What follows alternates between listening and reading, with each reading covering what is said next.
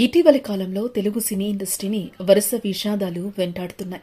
ఒక్క తెలుగు ఇండస్ట్రీలోనే కాకుండా భారత సినీ పరిశ్రమలోని ప్రముఖ నటీనటులు ఆకస్మిక మరణాలు సినిమా ఇండస్ట్రీని ఆందోళనకు గురిచేస్తున్న విషయం తెలిసిందే.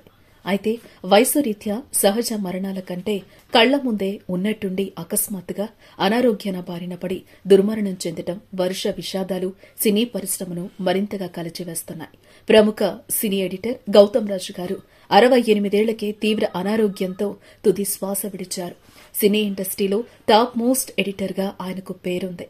దాదాపు ఎనిమిది వందల సినిమాలకు పైగా గౌతమ్ రాజు ఎడిటర్గా వ్యవహరించారు.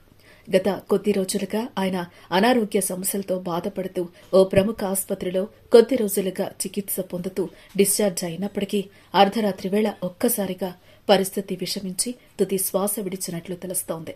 సినీ ఇండస్ట్రీలో టాప్ మోస్ట్ ఎడిటర్గా ఆయనకు పేరుంది.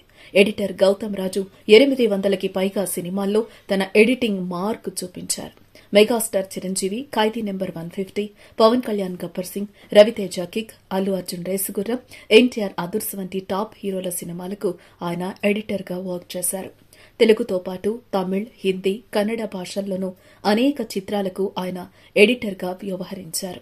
ఆది సినిమాకు ఆయనకు ఉత్తమ ఎడిటర్గా నంది అవార్డు వచ్చింది అయితే గౌతమ్ రాజు గారు ఎన్నో చిన్న సినిమాలకు ఎడిటర్గా వ్యవహరించే సందర్భంలో వారి బడ్జెట్కి లోబడి పనిచేయడమే కాకుండా చిన్న ప్రొడ్యూసర్లకు కొత్త డైరెక్టర్లకు ఎంతో మందికి మంచి కుటుంబం సభ్యునిలా సలహాలు సూచనలు చేస్తూ ఎంతో మంచి పేరు తెచ్చుకున్నారు. వారందరికీ కాకుండా తెలుగు సినిమా ఇండస్ట్రీకే గౌతమ్ రాజు గారి హఠాన్ మరణం తీవ్ర నష్టాన్ని మిగిల్చిందని చెప్పుకోవచ్చు.